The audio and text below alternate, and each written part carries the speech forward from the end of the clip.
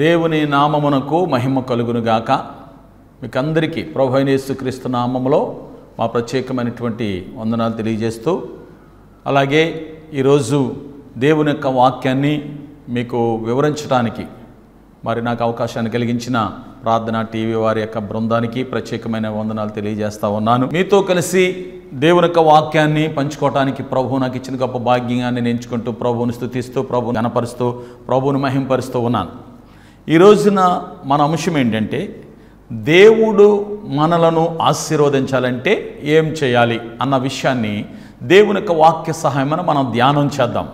పేతురు రాసిన మొదటి పత్రిక మూడో అధ్యాయం తొమ్మిదో వచ్చిన భాగంలో మనం చూసినట్లయితే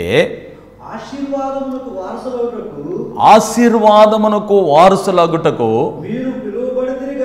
మీరు పిలువబడితిరి. ప్రార్థన చేసుకుందాం. ఈ వాక్యములో నుంచి పరిశుద్ధాత్మ దేవుడు మనతో మాట్లాడినట్లుగా ప్రార్థన చేసుకుందాం. మమ్మల్ని మిక్కిలిగా ప్రేమించిన మా తండ్రి. నాయనా ప్రభువా మీకు వందనాలు స్తోత్రాలు స్థుతులు చెల్లించుకుంటూ ఉన్నాం ప్రభువా. ఇదిగో నాయన ఈ యొక్క సమయంలో మీ దాసుడుగా నేను ప్రభు నిలబడి ఉంటుండగా ప్రభువా.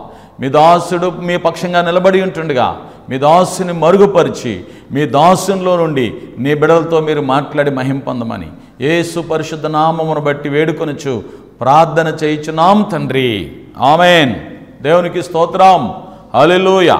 ప్రేమైన దేవునికి బిడ్డలారా ఈ దినాన్ని ప్రభు మనతో మాట్లాడాలని ఆశపడతా ఉన్నారు. దేవుడు మరి మనల్ని ఆశీర్వదించాలంటే మనం ఏం చేయాలి?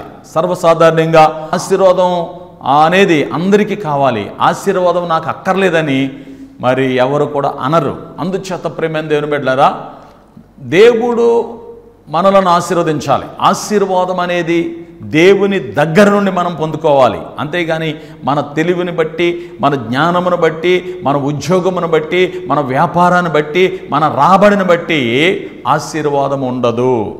ఆశీర్వాదము అంటే అసలు అసలైనటువంటి ఆశీర్వాదం ఏదంటే యేసు ప్రభువుని మనం కలిగి ఉండడమే అసలైన సిసలైనటువంటి ఆశీర్వాదము. దేవునికి స్తోత్రం. హల్లెలూయా.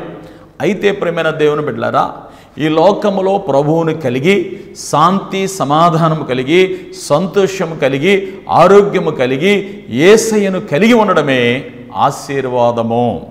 ఈ ఆశీర్వాదము లేక అనేక మంది బాధపడతా ఉన్నారు అనేక మంది ఇబ్బందులు పడతా ఉన్నారు. కనుక ఆశీర్వాదము మనకు కావాలంటే ఏం చేయాలి? దేవుడు మనల్ని ఆశీర్వదించాలంటే మనం ఏం చేయాలని మనం చూసినట్లయితే మొదటిగా ఆది కాండం పన్నెండు అధ్యాయం మొదటి వచనాన్ని మనం చదువుకుందాం. యహోవా నీవు లేచి నీ దేశము నుండి నీ బంధువులద్ద నుండి నీ బంధువుల నుండి నీ తండ్రి ఇంట నుండి బయలుదేరి నేను నీకు చూపించు దేశమునకు వెళ్ళము. అక్కడ నిన్ను నిన్ను గొప్ప జనముగా చేసి నిన్ను ఆశీర్వాదించి నీ నామమును గొప్ప చేయుదునని. దే నీవు ఆశీర్వాదకరముగా ఉందువు అని అబ్రహాముతో దేవుడు చెప్పాడు. దేవునికి స్తోత్రం. హాలెలూయ ప్రియమైన దేవుని బిడ్డలారా దేవుడు నిన్ను దీవించాలని ఆశపడతా ఉన్నాడు. దేవుడు నన్ను దీవించాలని ఆశపడతా ఉన్నాడు. దేవుని యొక్క ఉద్దేశం ఏంటంటే మనందరము కూడా దీవించబడాలన్నదే ఆయన యొక్క ఉద్దేశం. అందుకని ఆ మరి ఆది కాండము మొదటి అధ్యాయం ఇరవై ఎనిమిదవ వచనంలో మనం చూసినట్లయితే ఆ అవ్వ ఆదాములను దేవుడు జతపరిచిన తర్వాత ప్రభువు దేవుడు కూడా వారితో ఒక చక్కని మాటలు చెప్పారు. ఏమనంటే మీరు ఫలించండి అభివృద్ధి పొందండి విస్తరించండి భూమిని నిండించి దాన్ని లోపరుచుకోండి అని కూడా మరి ఆదామవలతో మొదట్లోనే దేవుడు చెప్పాడు. దేవుని యొక్క ఉద్దేశం ఏంటంటే నువ్వు దీవించబడాలన్నది దేవుని యొక్క ఉద్దేశం. దేవుని యొక్క ఉద్దేశం ఏంటంటే నేను దీవించబడాలన్నది దేవుని యొక్క ఉద్దేశం. కనుక ప్రియమైన దేవుని బిడ్డలారా దేవుని యొక్క ఆశీర్వాదము లేకుండా ఉన్నట్లయితే ఈ వర్తమానము ద్వారా ఈ వర్తమానమును వినడం ద్వారా నువ్వు ఆశీర్వాదం పొందబోతూ ఉన్నావు. నువ్వు దీవించబడబోతున్నావు. నువ్వు ఆశీర్వదింపబడబోతున్నావు అన్న విషయాన్ని నేను మీకు జ్ఞాపకం చేస్తాను. చూడండి అబ్రహామును ఆదికాండం పన్నెండు అధ్యాయం మొదటి వచనంలో చూసినట్లయితే అబ్రహామును దేవుడు పిలిచాడు. పిలిచినప్పుడు దేవుడు అక్కడ మూడు ప్రాముఖ్యమైన విషయాలు చెప్పాడు. మరి వాగ్దానాలు చాలా ఉన్నాయి కానీ ప్రాముఖ్యమైన విషయాలు ఒక మూడు చెప్పి అబ్రహాముతో మాట్లాడారు. ఏమనంటే నిన్ను గొప్ప జనముగా చేస్తాను నిన్ను ఆశీర్వదిస్తాను తర్వాత నీ నామమును గొప్ప చేస్తాను అని చెప్పేసి మరి దేవుడు అబ్రహాముతో చెప్పి పిలిచాడు. ఆ దేవుడు పిలిచినప్పుడు అబ్రహాము దేవుని మాటకు లోబడ్డాడు. ప్రియమైన సహోదరి సహోదరుడా నువ్వు దీవించబడాలంటే నువ్వు ఆశీర్వదింపబడాలంటే మొదటిగా మనము దేవుని మాటకు లోబడాలి. ఏం చేయాలి చెప్పండి? దేవుని మాటకు లోబడటం ద్వారానే దేవుని ఆశీర్వాదము నీకు వస్తుంది. దేవునికి స్తోత్రం. హాలిలోయ చాలామంది దేవుని వాక్యానికి లోబడరు దేవుని మాటకు లోబడరు. కానీ దేవా నన్ను ఆశీర్వదించు దేవా నన్ను దీవించుమని చాలామంది దేవుణ్ణి అడుగుతూ ఉంటారు. మొదటిగా దేవుడు చెప్పిన మాటకి మనం లోబడాలి. దేవుని వాక్యానికి మనం లోబడాలి. అప్పుడే దేవుని యొక్క ఆశీర్వాదాన్ని నువ్వు అనుభవించగలవు. దేవుని యొక్క ఆశీర్వాదాన్ని నువ్వు పొందగలవన్న విషయాన్ని నేను మీకు జ్ఞాపకం చేస్తాను. ప్రేమైన దేవుని బిడ్డలారా దేవుడు యొక్క ఉద్దేశం ఏంటంటే నీవు నేను కూడా ఆశీర్వదింపబడాలి. ఈ ఆశీర్వాదము ఎలాగ మనకు దొరుకుతుందంటే ఎలా దొరుకుతుందంటే దేవుని మాటకు లోబడాలి. అబ్రహాము లోబడ్డాడు. దేవుని మాటకు విధేయుడయ్యాడు. అబ్రహాము దేవుని మాటకు లోబడి విధేయుడై ఆయన చూపించిన దేశానికి వెళ్ళాడు కనుకనే అబ్రహామును గొప్ప జనముగా చేశాడు. అబ్రహామును గొప్పగా దీవించాడు. అబ్రహాము పేరును గొప్ప చేశాడు ప్రేమైన దేవుని బిడ్డలారా. అందుచేత మనం మనం కూడా దీవించబడాలంటే మొదటిగా దేవునికి లోబడేవారిగా ఉండాలని చెప్పేసి మరి ప్రభు పేరట నేను మీకు తెలియజేస్తా ఉన్నాను. దేవునికి స్తోత్రం చెల్లిద్దాం. హల్లెలూయ హల్లెలూయ. రెండవదిగా మరి దేవుడు మనల్ని ఆశీర్వదించాలంటే మనం ఏం చేయాలి? రెండవదిగా చూసినట్లయితే యోబు గ్రంథము మొదటి అధ్యాయం మొదటి వచనములో యోబును మరి ఆ దినాల్లో ఆ దేశములో యోబంతా గొప్ప ఆ ధనవంతుడు యోబంతా గొప్ప వ్యక్తి ఎవరు కూడా లేరు. ఎందుకు ఆ యోబు గారు అంత గొప్ప ధనవంతుడిగా ఉన్నాడు? ఎందుకు యోబు గారిని దేవుడు అంత బహుగా ఆశీర్వదించాడని మనం గమనించినట్లయితే రెండవదిగా అంటాడు యోబు దేవుని ఎందు భయభక్తులు కలిగి చెడుతనమును విసర్జించి ఆ యోబు మరి న్యాయవంతుడు యథార్థవంతుడు అంత మాత్రమే కాదు చెడుతనమును విసర్జించాడు. మొదటిగా దేవుని యందు భయభక్తులు కలిగిన వాడుగా ఉన్నాడు. దేవునికి స్తోత్రం హాలెలుయ. దేవుని యందు భయభక్తులు కలిగి ఆ, ఆయన అతడు యథార్థవంతుడు న్యాయవంతుడును దేవుని ఎందు భయభక్తులు కలిగి చెడుతనమును విసర్జించిన వాడు దేవునికి స్తోత్రం చెబుతాం గట్టిగా. హల్లెలూయ కనుక ప్రియమైన దేవుని బిడ్డలారా మరి చూడండి యోబు ఎందుకు యోబును అంతగా ఆశీర్వదించాడంటే అతడు దేవుని ఎందు భయభక్తులు కలిగిన వాడు దేవునికి స్తోత్రం చెప్దాం. హాలిలోయ ప్రేమైన దేవుని బిడ్డలారా దేవుడు మనలను ఆశీర్వదించాలంటే దేవుడు మనల్ని దీవించాలంటే ఏం చేయాలంటే ఒకటి దేవుని మాటకు లోబడాలి. అబ్రహాం లోబడ్డాడు కనుకనే దేవుడు అబ్రహామును దీవించాడు. రెండవదిగా దేవుడు మనలను ఆశీర్వదించాలంటే దేవుడు మనల్ని దీవించాలంటే రెండవదిగా యోబులాగా దేవుని ఎందు భయభక్తులు కలిగి చెడుతనమును విసర్జించి యథార్థవంతుడిగా న్యాయవంతుడిగా ఉన్నాడు కనుకనే యోబు గారిని కూడా దేవుడు దీవించాడు. దేవునికి స్తోత్రం. హలెల్లోయ. కనుక ప్రియమైన దేవుని బిడ్డలరా ఈ వర్తమానం ద్వారా ఈ ఒక సమయంలో ప్రభు నీతో మాట్లాడుతూ ఉన్నారు. దేవుడు దీవించాలంటే మనం ఏం చేయాలంటే మరి అబ్రహాము వలె దేవుని మాటకు లోబడదాం. రెండవదిగా మనం చూసినట్లయితే యోబులాగా దేవుని ఎందు భయభక్తులు కలిగిన వారిగా ఉంటే దేవుడు మనల్ని ఆశీర్వదిస్తాడు. మూడవదిగా యోహాను సువార్త పదిహేడు అధ్యాయం ఇరవై ఒకటో వచ్చిన భాగంలో మనం చూసినట్లయితే మూడవదిగా మూడవ అనుభవం ఏంటంటే దేవుడు మనల్ని ఆశీర్వదించాలంటే ఏం చేయాలంటే మూడవదిగా దేవునికి ప్రార్థించువారిగా ఉండాలి. దేవునికి ప్రార్థన చేయటం ద్వారానే ఆశీర్వాదం వస్తుంది. ప్రార్థన చేయకుండా ఏ వ్యక్తి కూడా ఆశీర్వదింపబడలేడు. ప్రార్థన చేయకుండా ఏ వ్యక్తి కూడా దీవించబడలేడు. ఈ యొక్క సమయంలో ఈ యొక్క టీవీ ఈ విశ్వాస వాక్ అనే ఈ టీవీ కార్యక్రమాన్ని మరి వీక్షిస్తున్న నీతో ప్రభువు మాట్లాడుతూ ఉన్నాడు ఏమనంటే ప్రార్థన జీవితము ద్వారానే. నీ ప్రార్థన ద్వారానే దేవుడు నిన్ను నీ బిడ్డలను నీ కుటుంబాన్ని నీ ఉద్యోగాన్ని నీ వ్యాపారాన్ని నీ సమస్తాన్ని కూడా దీవించువాడుగా ఉన్నాడని చెప్పేసి ప్రభు పేరట నేను మీకు తెలియజేస్తా ఉన్నాను. దేవునికి స్తోత్రం చెల్లిద్దాం. హల్లెలూయ. ప్రేమైన దేవుని పెట్టారా మూడవదిగా ఆశీర్వాదం ఎలాగొస్తుందంటే మనం ప్రార్థన చేయాలి. ప్రార్థన మన పరిస్థితులను మారుస్తుంది. ప్రార్థన నీ తలరాతులను మారుస్తుంది. ప్రార్థన నీ స్థితిగతులను మారుస్తుంది. ప్రార్థనే గొప్పగా నిన్ను ఆశీర్వదిస్తుంది. ఆది కాండ ముప్పై రెండు అధ్యాయం ఇరవై ఆరు వచ్చిన భాగంలో కూడా మనం చూసినట్లయితే మరి చూడండి యాకోబు దేవుని సందులో ప్రార్థన చేశాడు. ఎబ్బేకురేవు దగ్గర ప్రార్థన చేశాడు. అట తల్లిదండ్రి తండ్రికి అన్నగారిని మోసగించి పద్దనరాము వెళ్ళిన తర్వాత మరలా తిరుగు ప్రయాణంలో కూడా మామగారు బావ బావమరుదులతో వాళ్ళందరితో కూడా అతనికి సమస్యలు వచ్చినప్పుడు మళ్ళా తిరుగు ప్రయాణంలో మరి తన అన్నగారు అతనికి ఏదైనా హాని తలపెడతాడేమని చెప్పేసి ఆ రాత్రంతా కూడా యాకోబు దేవుని దగ్గర దేవుని సందులో ప్రార్థించాడు. వెంటనే మరి దేవుడు అతను దర్శించి అతని ప్రార్థన విని అతని పేరును మార్చి అతన్ని ఇస్రాయేలుగా దేవుడు ఆశీర్వదించాడు. యాగోబన్నాడు అన్నాడు నువ్వు నన్ను ఆశీర్వదించదని కానీ నేను నిన్ను విడ పోనీయనని చెప్పాడు. నేను నిన్ను విడవను అని చెప్పాడు. అలాంటి సందర్భంలో యాకోబు ఆ రాత్రంతా ప్రార్థన చేయటం ద్వారానే అతడు ఇస్రాయేలుగా మరి దీవించబడ్డాడు. ఇస్రాయేలుగా ఆశీర్వదింపబడ్డాడు ప్రేమైన దేవుని బిడ్డారా అందుచేత దేవుని యొక్క ఆశీర్వాదాన్ని పొందాలంటే దేవుడు మనకిచ్చినటువంటి గొప్ప ఆయుధం ఏంటంటే దేవుడు మనకిచ్చిన గొప్ప అవకాశం ఏంటంటే దేవుని సన్నిధిలో ప్రార్థన చేసేవారిగా మనం ఉంటే దేవుని యొక్క ఆశీర్వాదాన్ని పొందుకోగలుగుతామని చెప్పేసి మరి ఆ మూడవదిగా నేను మీకు తెలియజేస్తా ఉన్నాను. నాలుగవదిగా దేవుడు మనల్ని ఆశీర్వదించాలంటే ఏం చేయాలి? నాలుగో విషయం ఏంటంటే మరి నూట ముప్పై మూడో కీర్తన మొదటి వచ్చినం మనము సహోదరులు ఐక్యత కలిగి నివసించుట ఎంత మేలు ఎంత మనోహరము. దేవునికి స్తోత్రం. హల్లెలూయా. ప్రేమైన దేవుని బిడ్డలారా నాలుగవదిగా దేవుడు మనలను ఆశీర్వదించాలంటే మనం ఏం చేయాలంటే మరి నాలుగవదిగా నాలుగో అనుభవం ఏంటంటే ఐక్యత కలిగి ఉండాలి. ఈ రోజున కుటుంబంలో చాలామంది భార్యాభర్తలకు ఐక్యత లేదు. అలాగే ఇంకా చాలా కుటుంబాల్లో పిల్లలకి తల్లిదండ్రులకి ఐక్యత లేదు. ఇలాగా ఎక్కడ చూసినా మరి ఐక్యత లేనటువంటి పరిస్థితులు ఉన్నాయి. కొన్ని సంఘాల్లో ఐక్యత లేదు కొన్ని కుటుంబాల్లో ఐక్యత లేదు సమాజంలో ఐక్యత లేదు రాష్ట్రంలో ఐక్యత లేదు దేశంలో ఐక్యత లేనటువంటి ఆ పరిస్థితిలో ఈ రోజున మనం లేనటువంటి పరిస్థితులను ఈ రోజుల్లో మనం చూడగలుగుతున్నాం.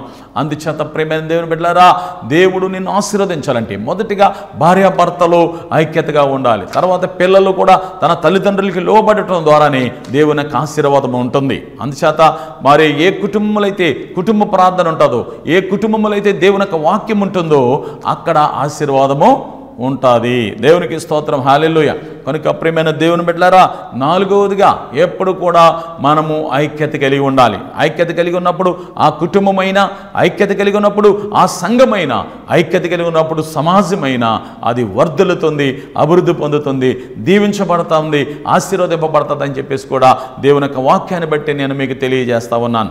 దేవునికి స్తోత్రం చెప్దాం. హల్లెలూయా అలేలోయ కనుక ప్రియమైన దేవుని బిడ్డలారా దేవుడు దీవించాలంటే దేవుడు ఆశీర్వదించాలంటే ఏం చేయాలి చెప్పండి? ఒకటి దేవుని మాటకు లోబడాలి. రెండవదిగా మనం చూసినట్లయితే యోబులాగా దేవుని ఎందు భయభక్తులు కలిగిన వారిగా ఉండాలి. మూడవదిగా చూసినట్లయితే మరి ప్రార్థన చేయటం ద్వారా మరి ఆశీర్వాదం వస్తుంది. యాకోబు కూడా మరి ప్రార్థన చేసి ఇస్రాయేలుగా ఆశీర్వదింపబడినట్టుగా మరి దేవుని యొక్క వాక్యంలో మనం చదువుతున్నాం. దేవునికి స్తోత్రం. హాలెలోయ నాలుగవదిగా ఐక్యత కలిగిన వారిగా ఉండాలి. ఏముండాలి చెప్పండి? ఐక్యత ఎక్కడైతే ఉంటుందో అక్కడే ఆశీర్వాదం కూడా ఉంటుందని చెప్పేసి నేను మీకు తెలియజేస్తా ఉన్నాను. మరి చూడండి మరి ఐదవదిగా నూట పంతొమ్మిదో కీర్తన. నూట మూడు నూట ఐదు వచనాలు చదువుకుందాం. ఐదవదిగా నూట పంతొమ్మిదో కీర్తన. నూట మూడు నూట ఐదో వచనాలు చదువుకుందాం. నూట పంతొమ్మిదో కీర్తన. అక్కడ నీ వాక్యములు నా జవహకు ఎంతో మధురములు. అవి నా నోటికి నా నోటికి తేనె కంటే తేనె కంటే తీపిగా నున్నవి. తీపిగానున్నవి నీ వాక్యము నీ పాదములకు దీపమును. నా త్రోవకు నా వెలుగునై త్రోవకు వెలుగునై ఉన్నది. దేవునికి స్తోత్రం. హల్లెలూయ. ప్రియమైన దేవుని బిడ్డలారా ఐదవదిగా మనం చూసినట్లయితే దేవుని వాక్యాన్ని మనం చదవాలి. దేవుడు నిన్ను దీవించాలంటే దేవుడు నిన్ను ఆశీర్వదించాలంటే మనం ఏం చేయాలంటే దేవుని వాక్యమును చదవాలి. దేవుని యొక్క వాక్యమును ధ్యానించాలి. దేవుని యొక్క వాక్యము మన యొక్క మరి బైబిల్లో కాదు కానీ మన గుండెల్లో కూడా ఉండాలి. అప్పుడు మాత్రమే దేవుడు మనల్ని ఆశీర్వదించేవాడిగా ఉన్నాడు. దేవుని యొక్క వాక్యాన్ని చదవాలి దేవుని యొక్క వాక్యాన్ని ధ్యానించాలి ఆ చదివినవి ధ్యానించినవన్నీ కూడా మన హృదయంలో భద్రం చేసుకున్నట్లయితే మరి ఆ వాక్యము చదవటం ద్వారా వినటం ద్వారా కూడా దేవుని ఆశీర్వాదం మనకి వస్తుందని చెప్పేసి దేవుని యొక్క వాక్యము తెలియజేస్తూ ఉంది. నీ వా మరొక అంటాడు నీ వాక్యం నన్ను బ్రతికిస్తుంది. ఆ వాక్యం బాధలో నాకు నెమ్మదిని కలిగిస్తుందని చెప్పేసి నూట పంతొమ్మిదో కీర్తనలో చదివాం. దేవునికి స్తోత్రం. హల్లెలూయ. నీ వాక్యము నా పాదములకు దీపమును నా త్రోవకు వెలుగై ఉన్నది ఒక మనిషి బ్రతకాలంటే ఒక మనిషి జీవించాలంటే దేవుని యొక్క వాక్యమును బట్టే దేవుని యొక్క వాక్యము ఏం చెప్తుందో ఆ వాక్యాన్ని ప్రకారంగా మనం నడవాలి. ఈ వాక్య ప్రకారంగా మనం జీవించాలి. వాక్య ప్రకారంగా మనం చేసినప్పుడు తప్పనిసరిగా దేవుడు మనల్ని దీవిస్తాడు ఆశీర్వదిస్తాడు. ఎందుకంటే దేవుడు మనకు ఒక మార్గదర్శిగా ఈ బైబిల్ గ్రంథాన్ని దేవుడు మనకి ఇచ్చాడు ఈ వాక్యం అంటే దేవుని మాట దేవుని మాటను మనం ధ్యానించాలి. దేవుని మాటకు మనం లోబడాలి. దేవుని మాట ప్రకారంగా మనం జీవించినట్లయితే తప్పనిసరిగా దేవుడు నిన్ను నన్ను మన కుటుంబాన్ని కూడా ఆశీర్వదించేవాడుగా ఉంటాడని చెప్పేసి నేను ప్రభు పేరట నేను మీకు తెలియజేస్తా ఉన్నాను. దేవునికి స్తోత్రం చెల్లిద్దాం. అలెలోయ అలేలుయ ప్రేమైన దేవుని బిడ్డలారా ఆరోదిగా మనం చూసినట్లయితే దేవుడు మనల్ని ఆశీర్వదించాలంటే దేవుడు మనల్ని దీవించాలంటే ఆరవదిగా కీర్తనల గ్రంథము ఇరవయో కీర్తన మొదటి నుంచి కొన్ని వచనాలు చదువుకుందాం. ఆపత్కాలమందు యెహోవా నీకు ఉత్తరమిచ్చును గాక. యాకోబు దేవుని నామము నిన్ను ఉద్ధరించును గాక. పరిశుద్ధ స్థలములో నుండి ఆయన నీకు సహాయము చేయను గాక. సియోనులో నుండి నిన్ను ఆదుకొనును గాక. నిన్ను ఆదుకొనును గాక. దేవునికి స్తోత్రం. హాలెలూయ ప్రేమైన దేవుని బిడ్డలారా దేవుడు మనల్ని ఆశీర్వదించాలంటే ఆరోవదిగా దేవుని మందిరమునకు మనం రావాలి. సియోనులో నుండి అనగా సియోన్ అనగా దేవుని మందిరం. ఎవరైతే ఆ దేవుని మందిరానికి వస్తారో కుటుంబ సమేతంగా రావాలి. ఒక పెంచు ఫిలాసఫర్ చెప్పాడు క్రైస్తవులు నాశనం అయిపోవాలంటే వారు దేవుని మందిరానికి వెళ్ళకుండా చేస్తే సరిపోద్దా అని చెప్పేసి అన్నాడంట. దేవునికి స్తోత్రం. హలిలోయ అందుచేత ప్రియమైన దేవుని బిడ్డలారా ఎన్నడూ కూడా ఈ ఆదివారం ఆరాధనను మనం నిర్లక్ష్యం చేసుకోకూడదు. దేవుని మందిరానికి వెళ్ళాలి. దేవుని మందిరంలో మనం ప్రార్థన చేస్తే ఆపత్కాలమందు ఒక మొర్ర పెడితే ఆయన పరిశుద్ధ స్థలములో నుండి నీకు సహాయం చేస్తానని చెప్పాడు. పరిశుద్ధ స్థలం అనగా దేవుని మందిరం. సియోన్లో నుండి ఆయన నిన్ను ఆదుకొనును గాకానుంది సియోన్ అనగా దేవుని మందిరం. అందుచేత ప్రేమైన దేవుని బిడ్డలారా మనం ఎక్కడికే రావాలంటే దేవుని మందిరానికి వచ్చి నీ కోసం నీ బిడ్డల కోసం నీ కుటుంబం కోసం అంత మాత్రమే కాదు నీ యొక్క సమాజం కొరకు అంత మాత్రమే కాదు, నీ రాష్ట్రం కొరకు దేశం కొరకు ప్రపంచ శాంతి కొరకు కూడా మనము దేవునికి ప్రార్థించేవారుగా దేవుణ్ణి అడిగేవారుగా ఉండాలి. చూడండి ఏ కుటుంబం అయితే దేవుని మందిరానికి వస్తూ ఉందో ఏ కుటుంబం అయితే దేవుని మందిరంలో పాలు పొందుతున్నారో ఆ కుటుంబాన్ని దేవుడు తప్పనిసరిగా దీవిస్తాడు ఆశీర్వదిస్తాడని చెప్పేసి మరి ఆ రోజుగా నేను మీకు తెలియజేస్తా ఉన్నాను. దేవునికి స్తోత్రం. అల్లెలుయ ప్రేమైన దేవుని బిడ్డలారా దేవుడు మనల్ని ఆశీర్వదించాలంటే ఏం చేయాలంటే ఒకటి దేవుని మాటకు లోబడిన లోబడేవారిగా మనం ఉండాలి. రెండవదిగా మనం చూసినట్లయితే దేవుని ఎందు భయభక్తులు కలిగిన వారిగా ఉండాలి. మూడవదిగా చూసినట్లయితే ప్రార్థన చేసిన ప్రార్థన చేసేవారిగా మనం ఉండాలి. మరి నాలుగవదిగా చూసినట్లయితే ఐక్యత కలిగి మనం ఉండాలి. మరి ఆరవదిగా మనం ఐదవదిగా మనం చూసినట్లయితే దేవుని యొక్క వాక్యాన్ని చదవాలి ధ్యానించాలి దేవుని యొక్క వాక్య ప్రకారంగా మనం జీవించినప్పుడు దేవుడు మనల్ని ఆశీర్వదిస్తాడు. ఆరవదిగా మరి దేవుని మందిరాన్ని ప్రేమించాలి. దేవుని మందిరానికి మనం రావాలి. నీవు నీ కుటుంబం అంతా కూడా దేవుని మందిరానికి వస్తే ఆ మందిరంలోంచి ఆ పరిశుద్ధ స్థలంలో నుంచి దేవుడు నిన్ను దీవిస్తాడు ఆశీర్వదిస్తాడని చెప్పేసి మరి ప్రభు పెరటాన్ని నేను మీకు తెలియజేస్తున్నాను. ఏడవదిగా దేవుడు మనల్ని ఆశీర్వదించాలంటే ఏడవదిగా మలాకి గ్రంథము మూడో అధ్యాయం ఏడవ వచ్చిన భాగంలో మనం చదివినట్లయితే మరి ఆ మలాకి గ్రంథము మూడో అధ్యాయం ఏడవ వచ్చినాన్ని మనం చదివినట్లయితే అక్కడ ఒక అద్భుతమైనటువంటి మాట మరి మలకి రాశారు. మీ పితరుల నాటి నుండి మీరు నా కట్టడలు గైకొనక వాటిని వాటిని త్రోసివేసితిరి. అయితే అయితే మీరు నా తట్టు తిరిగిన ఎడల నేను మీ తట్టు తిరుగుదును. సైన్యములకు అధిపతి యహోవా సెలవిచ్చుచున్నాడు. కనుక మూడు అధ్యాయం మరి పదవచనంలో కూడా చూసినట్లయితే ఎనిమిది తొమ్మిది పదవచనాల్లో దశమ భాగం గురించి దేవుడు అక్కడ అద్భుతంగా రాయించారు. దేవునికి స్తోత్రం. హాలెలోయ కనుక ప్రియమైన దేవుని బిడ్డలరా దేవుడు మనల్ని మన కుటుంబాలను ఆశీర్వదించాలంటే ఏడవదిగా దశమ భాగము యహోవా సొమ్ము. ఆ దశమ భాగమును దేవునికి ఇవ్వటం ద్వారా నిన్ను నీ కుటుంబాన్ని నీ ఉద్యోగాన్ని నీ వ్యాపారాన్ని నీ పాడిని నీ పంటను సమస్తాన్ని కూడా దీవించువాడిగా ఉన్నాడని చెప్పేసి ప్రభు పేరట నేను మీకు తెలియజేస్తా ఉన్నాను. దేవునికి స్తోత్రం. హాలిలోయ ప్రేమైన దేవుని బిడ్డలారా దేవుడు మనల్ని ఆశీర్వదించాలని ఆశపడతా ఉన్నాడు. ఇంకా నువ్వు ఆశీర్వాదం పొందకుండా మేలులు పొందకుండా దీవెనలు పొందకుండా ఉన్నట్లయితే ఈ వర్తమానం ద్వారా దేవుడు నిన్ను ఆశీర్వదించబోతున్నాడు. దేవుడు నిన్ను దీవించబోతున్నాడు. దేవుడు నిన్ను వర్ధలు చేయబోతున్నాడు. దేవుడు నిన్ను అభివృద్ధి చేయబోతున్నాడు అని చెప్పేసి మరి ప్రభు పేరటాన్ని మీకు తెలియజేస్తా ఉన్నాను. దేవునికి స్తోత్రం చెల్లిద్దాం. కనుక ఈ వాక్యము వినటం ద్వారా దేవుడు ఈ దినాన్ని నిన్ను ఆశీర్వాదానికి వారసుడిగా చేయాలని ఆశపడుతున్నాడు. మన అంశం చదివినట్లయితే మొదటి పేతురు రాసిన పత్రిక మూడో అధ్యాయం తొమ్మిదో వచనంలో మీరు ఆశీర్వాదము పొందటానికి మరి వారసులు అవ్వటానికి పిలవబడితిరి అని రాయబడింది. కనుక దేవుడు మిమ్మలను ఆశీర్వదించబడుతున్నాడు ఈ వర్తమానాన్ని మరి వింటున్న మీరు మీ హృదయంలో ఈ వాక్యాన్ని భద్రం చేసుకుని వాక్య ప్రకారంగా జీవించినట్లయితే తప్పనిసరిగా దేవుడు మిమ్మలను దీవిస్తాడు ఆశీర్వదిస్తాడని చెప్పేసి మరి ప్రభు పెరట మీకు తెలియజేస్తా ఉన్నాను. దేవునికి స్తోత్రం. హాలిలోయ. ఏడు ప్రాముఖ్యమైన విషయాలు చెప్పాను. ఆశీర్వాదానికి ఏడు ప్రాముఖ్యమైన విషయాలు. ఒకటి దేవుని మాటకి మనం లోబడదాం దేవుని ఆశీర్వాదాన్ని పొందుకుందాం. రెండవదిగా దేవుని ఎందు భయభక్తులు కలిగి జీవిద్దాం ఆశీర్వాదం పొందుకుందాం.